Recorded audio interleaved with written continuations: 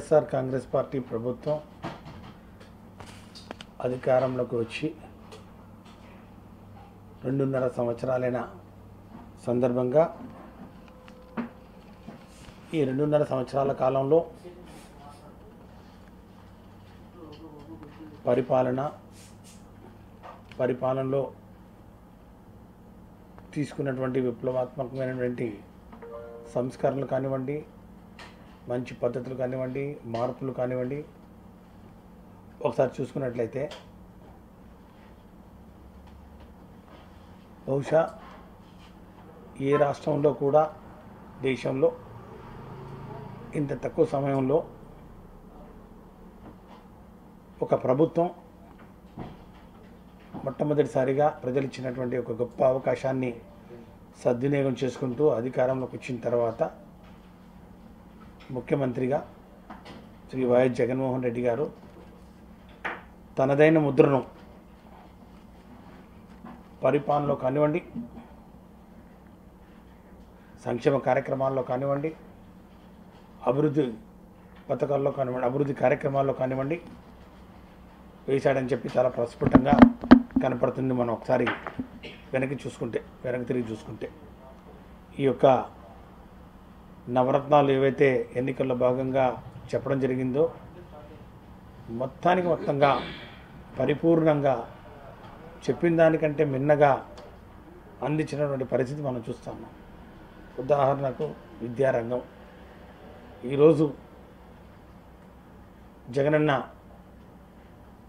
విద్యా దీవెన అనే కార్యక్రమాన్ని ఈరోజు ప్రారంభించుకోవడం జరిగింది. సుమారు తొమ్మిది లక్షల ఎనభై వేల మంది తల్లులకు పదకొండు లక్షల పైచలకు విద్యార్థులకు మేలు కలిగించే సుమారు ఆరు వందల ఎనభై కోట్లు. ఈరోజు ఫుల్ ఫీ రియంబర్స్మెంట్ ఏదైతే ఎన్నికల్లో నవరత్నాల్లో భాగంగా చెప్పడం జరిగిందో ఆ ఫుల్ ఫీ రియంబర్స్మెంట్ను తూచా తప్పకుండా మరి అమలు చేస్తూ వరుసగా మూడవ సారి మూడవ త్రైమాసికానికి ఈరోజు ఏర్పాటు చేయడం జరిగింది. అంటే ఒక హామీ ఇస్తే ఆ హామీని నిలబెట్టుకునే క్రమంలో ఎన్ని ఇబ్బందులు ఎదురైనా కూడా కరోనా లాంటి ఈ యొక్క విపత్కర పరిస్థితుల్లో ప్రభుత్వ ఆదాయం గణనీయంగా పడిపోయినటువంటి పరిస్థితుల్లో కూడా విద్యార్థులకు ఎక్కడ కూడా ఇబ్బంది కలగకూడదనే ఒక ఆలోచనతోటి ఈరోజు ఆ కార్యక్రమాన్ని సజావుగా ముందుకు తీసుకుపోతున్నటువంటి పరిస్థితి మనం చూస్తున్నాం. కాబట్టి ఈరోజు ఒక నిజాయితీకి ఒక విశ్వసనీయతకు ఒక నిబద్ధతకు ముఖ్యమంత్రి గారు ఇచ్చినటువంటి భరోసాకు ఈరోజు ఒక సాక్ష్యంగా ఈరోజు నిలబడిందని చెప్పి కూడా నిలబడుతుందని చెప్పి కూడా తెలియజేస్తా ఉన్నా. అంతేకాదు అవినీతి రహితంగా పారదర్శకంగా జవాబుదారీతనంతో ఈ పరిపాలన రెండున్నర సంవత్సరాల కాలం పాటు సాగిందని చెప్పి కూడా మనం తెలియజేయచ్చు. ఎందుకంటే ప్రతి చోట కూడా ఈ రివర్స్ టెండరింగ్ విధానం కానివ్వండి గ్రామ సమ సచివాలయాల వ్యవస్థ కానివ్వండి ఈ యొక్క నాడు నేడు కార్యక్రమాలు ఇది ఒక ప్రతిష్టాత్మకంగా తీసుకున్నటువంటి కార్యక్రమం. ఇవి కానివ్వండి ఈ యొక్క విద్యా దీవెన వసతి దీవెన గోరు ముద్దలు మరి విద్యా కానుక ఈ కార్యక్రమాలన్నీ సంపూర్ణ పోషణ సంపూర్ణ పోషణ ప్లస్ సుమారు కోటి కోటిన్నర మంది విద్యార్థులకు మేలు కలిగించే విధంగా ముప్పై ముప్పై ఐదు వేల కోట్ల రూపాయలు ఖర్చు పెట్టి రెండున్నర సంవత్సరాల కాలంలో మరి ఏ విధంగా ఈ యొక్క విద్యా వ్యవస్థను ప్రక్షాళన చేశామో ఒకసారి మరి ప్రజలందరూ ఆలోచన చేసుకోవాల్సిన అవసరం ఉందని చెప్పి కూడా నేను మనం చేస్తూ ఉన్నాను. అనేకమైన సంస్కరణలు చట్టాలను సవరించడం కొత్త చట్టాలను చేయడం కోర్టులతోటి పోరాటం చేయడం ఈ రెండున్నర సంవత్సరాల కాలంలో మనం చూసాం ప్రతిదానికి అడ్డు తగులుతున్నటువంటి పయనం తెలుగుదేశం పార్టీ. ఏ మంచి కార్యక్రమం చేసినా జగనన్న పేదింటికి ఇల్లు కోర్టు కేసులు. గ్రాంటీ నేడ్లో సంస్కరణలో భాగంగా కాలేజీలు తీసుకోవాలంటే కోర్టు కేసులు. అమ్మఒడి కోర్టు కేసులు. విద్యా దీవెన కోర్టు కేసులు. వసతి దీవెన కోర్టు కేసులు.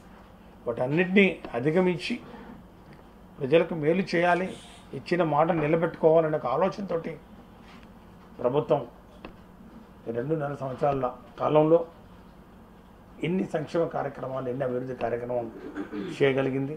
ముఖ్యంగా నగదు బదిలీ ఒక ప్రధానంగా చెప్పుకోవాల్సినటువంటి అంశం. రైతు భరోసా కానివ్వండి నేతన్న నేస్తం కానివ్వండి మరి చేయూత కానివ్వండి ఆసరా కానివ్వండి అమ్మఒడి కానివ్వండి విద్యా దీవెన వసతి దీవెన ఈ కార్యక్రమాలన్నీ ద్వారా సుమారు లక్ష కోట్ల పైచిలకు లక్ష ఇరవై వేల కోట్ల పైచిలకు నగదు బదిలీ కూడా మరి రెండున్నర సంవత్సరాల కాలంలో చేసినటువంటి పరిస్థితిని కూడా ఒకసారి రాష్ట్ర ప్రజలు గమనిస్తూ ఉన్నారని చెప్పి కూడా నేను మనవి చేస్తూ ఉన్నాను ఈ రెండున్నర సంవత్సరాల కాలంలో ఎక్కడా కూడా అవినీతి మరక లేకుండా ఎవరు కూడా ఏ ఒక్క మరి మంత్రి కానివ్వండి మంత్రివర్గంలో ఉన్నటువంటి ఏ ఒక్క వ్యక్తి కానివ్వండి పరిపాలన ఎక్కడున్నా కా- కూడా కానివ్వండి అవినీతికి మరి ఆమడ దూరం ఉంటూ ఈ యొక్క సంస్థాగత మార్పుల్ని చేసుకుంటూ ఈ యొక్క కరోనా సమయంలో సుమారు రెండు సంవత్సరాల పాటు రాష్ట్రం అంతా అతలాకుతలమైనా కూడా ఏది ఒక్కది కూడా ఆగకుండా ముఖ్యంగా స్కూళ్ళు రీఓపెనింగ్ కానివ్వండి పరీక్షలు కానివ్వండి అకాడమిక్ క్యాలెండర్ కానివ్వండి అన్నీ సజావుగా తీసుకుపోతూ మరి ముఖ్యంగా ఈ యొక్క ఉన్నత విద్యకు సంబంధించినటువంటి ఆ యొక్క యూనివర్సిటీస్కు ఎన్ఈపిని నేషనల్ ఎడ్యుకేషన్ పాలసీని అమలు చేసే దిశలో కూడా రాష్ట్రం ఆంధ్రప్రదేశ్ రాష్ట్రం దేశంలోనే మొట్టమొదటిగా ఈ యొక్క ఎన్ఈపిని తూచా తప్పకుండా అమలు చేసినటువంటి రాష్ట్రంగా నిలిచిపోయిందనే సంగతి కూడా ఒకసారి మనం గమనించాలి. ఎన్టీఆర్ యూనివర్సిటీలో హెల్త్ యూనివర్సిటీలో ఉద్యోగులు ఆందోళన చేస్తా ఉన్నారు. నాలుగు వందల కోట్ల డిపాజిట్లని ప్రభుత్వం ఫైనాన్స్ కార్పొరేషన్ మళ్ళించడానికి తీవ్రంగా వ్యతిరేకిస్తాను హెల్త్ యూనివర్సిటీ నా పరిధిలో లేదమ్మా. అయినా కూడా ఖచ్చితంగా ఆ విషయాలు ఏదైతే ఉన్నాయో ఖచ్చితంగా దాని మీద విచారణ జరిపించడం జరుగుతుంది. ఎక్కడా కూడా గౌరవ ముఖ్యమంత్రి గారు చాలా స్పష్టంగా చెప్పడం జరిగింది. పారదర్శకంగా అవినీతి రహితంగా జవాబుదారీతనంతో పరిపాలన సాగించాలి స్టేట్ ఫైనాన్స్ కార్పొరేషన్ మీద మాకు నమ్మకం లేదని యూనివర్సిటీ మెడికల్ డిపార్ట్మెంట్ మెడికల్ డిపార్ట్మెంట్తో మాట్లాడతాం. అంటే నేను ఒకటే చెప్తా ఉన్నాను. ఇప్పుడు యూనివర్సిటీస్లో ఉన్నటువంటి ఏదైనా ఇబ్బందులు ఏదైనా ఉంటే ముఖ్యంగా వాళ్ళకి సంబంధించినటువంటి నిధులు ఏదైనా అవుతూ ఉంటే దాన్ని జోలికి ఈ ప్రభుత్వం ఎప్పుడు పోదు. ఇప్పటివరకు పోలేదని కూడా నేను చెప్తాను చెప్పగలను. ఎందుకంటే గతంలో ఇదే ఇదే ఇన్సిడెంట్ ఒకసారి చూసుకుంటే ఆర్జీకేటీ యూనివర్సిటీలో తెలుగుదేశం పార్టీ అధికారంలో ఉన్నప్పుడు ఎలిక్ష ఎన్ని ఎన్నికలు వచ్చినప్పుడు చివరిగా సుమారు నూట ఎనభై కోట్ల రూపాయలు ఆర్జికిటి యూనివర్సిటీ నుంచి పసుపు కుంకుమ అనే కార్యక్రమానికి మళ్ళించినటువంటి పరిస్థితి మనం చూస్తాము ఈరోజు కూడా ఆ యొక్క ఆ లోటు నుంచి ఆర్జికేటి ఇంకా కోలుకోలేదు.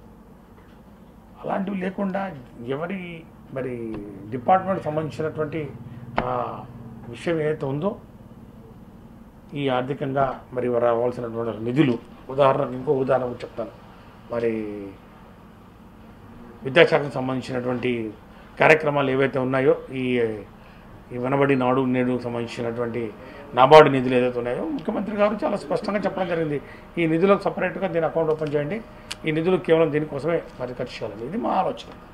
సార్ వైసీపీకి కౌంట్ డౌన్ స్టార్ట్ అయింది. ఇంకా వాళ్ళ రాజకాలు సాగవని అచ్చెన్నాయుడు నేను ఒకటే చెప్తాను. రాజకీయంగా ఈ అరాచకాలు కానివ్వండి ఈ దౌర్జన్యాలు కానివ్వండి ఈ కార్యకర్తల మీద దాడి చేయడం కానివ్వండి ఇదంతా తెలుగుదేశం పార్టీ సంస్కృతి.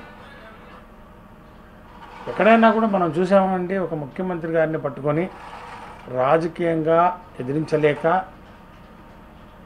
చేస్తున్నటువంటి కార్యక్రమాలు సంక్షేమ కార్యక్రమాలకు సమాధానం చెప్పలేక చివరకు ముఖ్యమంత్రి గారు పోతే కానీ మాకు మనుగడ లేదు. ముఖ్యమంత్రి గారు చనిపోతే కానీ ఈ పార్టీకి భవిష్యత్తు లేదనే ఒక దివాళా కోరు. మరి రాజకీయానికి ఆలోచనకు వచ్చినటువంటి పరిస్థితిలో మరి ఈ విధంగా మాట్లాడుతూ ఉంటే తెలుగుదేశం పార్టీ వాళ్ళు గాల్లో తిరుగుతున్న ముఖ్యమంత్రి గాల్లోనే పోతాడంటే ఎంత దుర్మార్గం అండి. వాళ్ళకి ఎంత కడుపు మంటగా ఉందో ఒకసారి గమనించండి. ముఖ్యమంత్రి వారి పట్టుకొని ఎవరో ఒక అధికార ప్రతినిధి అనే ఒక హోదానిచ్చి తిట్టగలిగే కెపాసిటీ ఎవరుందో ఎవరు ఎక్కువ తిట్టగలరో ఎవరు ఎక్కువ బూతులు మాట్లాడగలరో అలాంటి వ్యక్తుల్ని ఎత్తుక్కొచ్చి పట్టుకొచ్చి వారికి పార్టీ పదవులు ఇచ్చి కట్టబెట్టి ముఖ్యమంత్రి గారిని తిట్టించడం అదొక రాజకీయమా? ఎవరు చేస్తుంది ఇదంతా తెలుగుదేశం పార్టీ కాదా? ఎన్నికలప్పుడు కూడా తెలుగుదేశం పార్టీ ఒక వైఖరి ఫస్ట్ చెప్తుంది. మళ్ళీ ఎంబడే బీజేపీ లేదు మేము పోటీ చేయడం లేదని చెప్పి బద్వేలు ఎలక్షన్లు చెప్తే మళ్ళీ తెలుగుదేశం పార్టీ మళ్ళీ యూటర్న్ తీసుకొని "ఆ, మేము కూడా బద్వేలు ఎలక్షన్లో మేము పోటీ చేయట్లేదు అంటారు తర్వాత మళ్ళీ ముచ్చటగా మూడోసారి బీజేపీ వచ్చి మేము పోటీ చేస్తున్నాం అంటది. మళ్ళీ తర్వాత బీజేపీకి ఇరవై ఇరవై ఐదు వేల ఓట్లు పడుతుంది ఎక్కడండి? ఎక్కడ రాజకీయం ఇది? ఏం రాజకీయం ఉంటారు దీన్ని? ఈరోజు ఈ ముగ్గురు మరి కుమ్మక్కై ఈరోజు ముప్పేట దాడి చేయాలని చెప్పి ఏదో విధంగా వైఎస్ఆర్ కాంగ్రెస్ పార్టీని బద్నాం చేయాలని వైఎస్ఆర్ కాంగ్రెస్ పార్టీ చేస్తున్నటువంటి కార్యక్రమాలు అభివృద్ధి కార్యక్రమాలు కానివ్వండి సంక్షేమ కార్యక్రమాలు కానివ్వండి ఏదో విధంగా దానికి మసిపూసి మరి వట్టగాల్చి ముఖం మీద వేయడం అంటారు కదా ఏదో విధంగా మరి బొక్కలు లేకపోతే దానికి సంబంధించినటువంటి ఏదో ఒకటి లొసుగులు ఎతుకుతూ మరి ఈరోజు మాట్లాడుతున్నటువంటి పరిస్థితి. ఇది పూర్తిగా మరి అచ్చెన్నాయుడు మాట్లాడే మరి పరిస్థితి లేదు. ఎందుకంటే ఆయనకు అసలు ఆయన పార్టీ మీదనే ఆయన గౌరవం లేదు. ఏం పార్టీ? ఇది ఒక్క పార్టీ ఏదో అన్నాడు కదా ఆయన. ఆయన మాట్లాడిన అతను ఇంకా ఆయన ఇక ఆయన ఏం మాట్లాడతారు చెప్పండి? ఇది తప్పు ఇది రాజకీయం రాజకీయం లాగానే చేయాలి. మీరు మీరు ప్రతిపక్షంగా మీరు చేయండి పోరాటం చేయండి. మీరు ఏదైనా మరి ప్రకృతి విపత్తు వచ్చినప్పుడు మానవ తప్పిద్దామని చెప్పడం ఎంత బాధ్యతారహితం. ఈరోజు మేము ఒకటే చెప్తా ఉన్నాం. ఎక్కడన్నా మీరు ఒక ప- నిర్మాణాత్మకమైనటువంటి ప్రతిపక్షంగా మీరు ఇచ్చే సలహాలు సూచనలు చెప్పండి. మేము ఎక్కడైనా విఫలమైతే చెప్పండి ఎత్తి చూపండి. అంతేగాని ఏదో విధంగా వార్తల్లో ఉండాలి. ఏదో కొన్ని పేపర్లు ఉన్నాయి కాబట్టి మాకు రాస్తారు ఏదో ఏది చెప్పినా అని చెప్పి అవాకులు చవాకులు మరి పేలుతూ ఉంటే ప్రజలు గమనిస్తూ ఉన్నారు. ఇది కరెక్ట్ రాజకీయం కాదు. ఇది ఈరోజు రెండున్నర సంవత్సరాలు దిగ్విజయంగా వైఎస్ఆర్ కాంగ్రెస్ పార్టీ మరి అధికారంలో ఉండి ప్రజల మన్నలను పొందాం అని ఊరికి చెప్పడం కాదు. దానికి సాక్ష్యం జరిగినటువంటి ఎన్నికల్లో వైఎస్ఆర్ కాంగ్రెస్ పార్టీకి వచ్చినటువంటి ఫలితాలు. మున్సిపల్ కార్పొరేషన్స్ కానివ్వండి అది నెల్లూరులో కానివ్వండి ఇంకో చోట కుప్పంలో కానివ్వండి అట్లాగే జెడ్పీటీసీ ఎన్నికలు కానివ్వండి మరి గ్రామ సచివాలయ ఎన్నికలు కానివ్వండి మరి అట్లాగే ఎంపీపీ ఎన్నికలు కానివ్వండి ఏ ఎన్నికలైనా కూడా బై ఎలక్షన్స్ బద్వేలు కానివ్వండి బై ఎలక్షన్స్ మరి ఒంగోలు పా- మన తిరుపతి పార్లమెంట్ కానివ్వండి ఎక్కడ చూసినా కూడా ఎప్పుడు ఎన్నికలు జరిగినా కూడా ఎన్ని మరి వాళ్ళు కుట్రలు కుతంత్రాలు చేసినా కూడా ప్రజల తీర్పులో మార్పు లేదు. ప్రజలు మేము చేస్తున్నటువంటి పని ఎస్ జగన్మోహన్ రెడ్డి గారు మీరు చేసినటువంటి పని బాగుంది. ముందుకెళ్ళండి ఇబ్బంది లేదు. ఇదే విధంగా కంటిన్యూ అవ్వండి. ఇదిగో మీరు చేస్తున్నటువంటి కార్యక్రమాలన్నీ నిబద్ధతతో చేస్తున్నారు. ఎదుగో అమ్మఒడి కార్యక్రమం రెండు సార్లు ఇచ్చారు. ఎదుగో విద్యా దీవెన మూడు సార్లు ఇచ్చారు. రైతు భరోసా మూడు సార్లు ఇచ్చారు. కాబట్టి ఇట్లా ఇచ్చుకుంటూ పోండి ఎక్కడ. మాట తప్పొద్దని వాళ్ళు చెప్తున్నటువంటి ఈ యొక్క విషయాల్ని తెలుగుదేశం పార్టీ జీర్ణించుకోలేకపోతా ఉంది.